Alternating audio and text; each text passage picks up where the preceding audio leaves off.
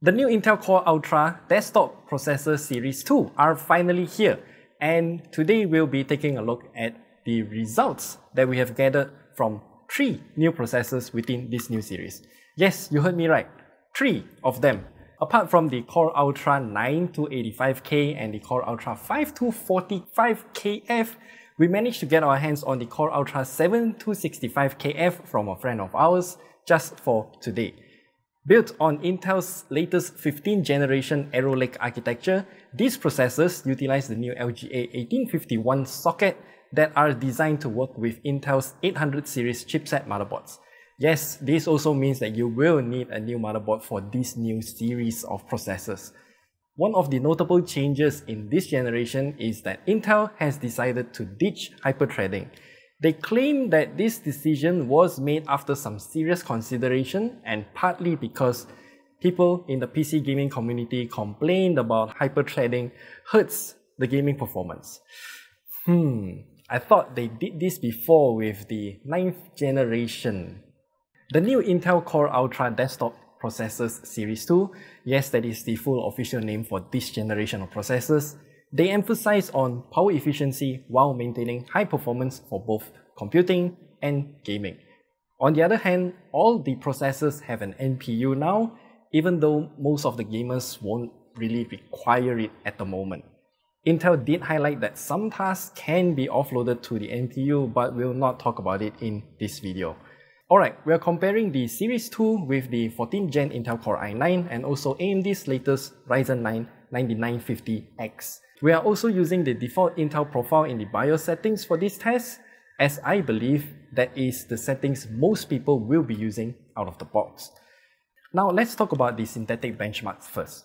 7-zip file compression and decompression is interesting here. Although the Ryzen 9 7950X and 9950X take the lead in decompression performance thanks to the extra cores and threads it has, the Core Ultra 9 285K has managed to take the lead in compression despite having less core counts and the absence of hyperthreading.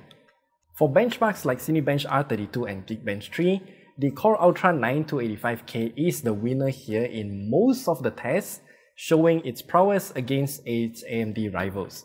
What's even more surprising is that the Intel Core Ultra 7 265KF and the Core Ultra 5 245KF has great single core performance, which is almost on par if not better than the Core i9 14900K. For creative app benchmarks, we have two different segments here. The first segment is where the benchmarks don't require all the core's usage, and that is where the Core Ultra 9 285K will perform better than the Core i9 14900K and sometimes even on par with the Ryzen 9 9950X. On the other segment of apps that devours all of the cores that it can get, the Core i9 14900K and the Ryzen 9 9950X will have the advantage purely from having more cores and more threads. For 3D Mark, the Ryzen 9 7950X and 9950X are still better performing CPUs in both Firestrike and TimeSpy, followed by the Intel Core Ultra 9 285KF and the Core Ultra 7 265KF, which are on par or better than the Core i9 14900K. The Core Ultra 5 245KF isn't falling too far behind either, which is surprising to us. Now, enough about the synthetic benchmarks. Now let's talk about the games. The results somehow match the patterns we've seen from Intel's benchmarks, where the Intel Core Ultra 9 285K is slightly better than the Core i9 14900K.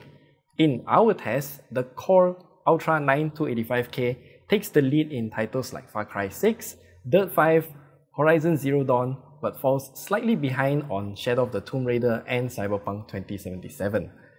The Core Ultra 7 265KF shares similar patterns as the Core Ultra 9 285K, while the Core Ultra 5 245KF can still be seen performing close to the Core i9 14900K on some titles, even though it falls short for a majority of the time.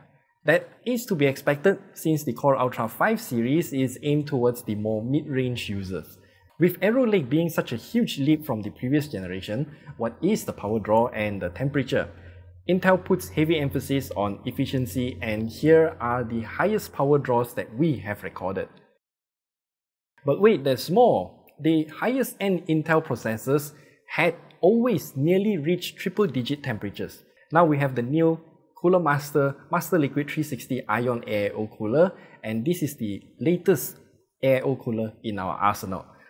The Core i9 14900K can still reach 96 degrees Celsius with this cooler, but the Intel Core Ultra 9 285K reaches about 90 degrees Celsius, but the Intel Core Ultra 7 265K and the Core Ultra 5 245K, the highest load temperature recorded during heavy load is at 74 and 80 degrees Celsius respectively, but it will run slightly cooler for most of the time. This is a huge improvement in terms of efficiency. With a new architecture means a lot of things have changed. So how's the memory overclocking support? Well, for the most part, it has improved. We tested the all-new CPUs with our existing and newer DDR5 memory kits, and DDR5 8000 Plus is easily achievable for most of the time. The highest that we were able to get this time is DDR5 8600 mega transfers per second using the Core Ultra 9 285K paired with the ROG Maximus Z890 Apex motherboard, which is this one.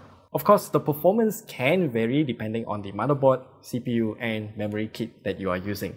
Older kits with lower frequencies might not guarantee you to run it at DDR5 8000 all the time, but the new CU DIMMs might be an option if you are able to get your hand on those.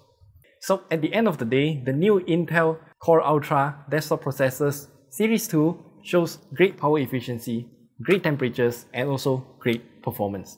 The Core Ultra 9 285K is a great improvement over its predecessor, especially with its temperature and also power efficiency. If you're already using the Core i9 13900K or 14900K and don't care about the efficiency, then this wouldn't matter much. If you are on a platform that is older than that, maybe the 12900K or older, then this is an excellent upgrade. The Core Ultra 7 265KF, it's a great option for those who has lower budget but still want something powerful for both work and games. Once again, it's a reasonable upgrade if you are coming from the 12th gen or older. For most users out there, I would say the Intel Core Ultra 5 245KF is the best chip that balances both price and performance. I mean, it's no stranger for us, especially how their processors have been dominating the user recommendation list.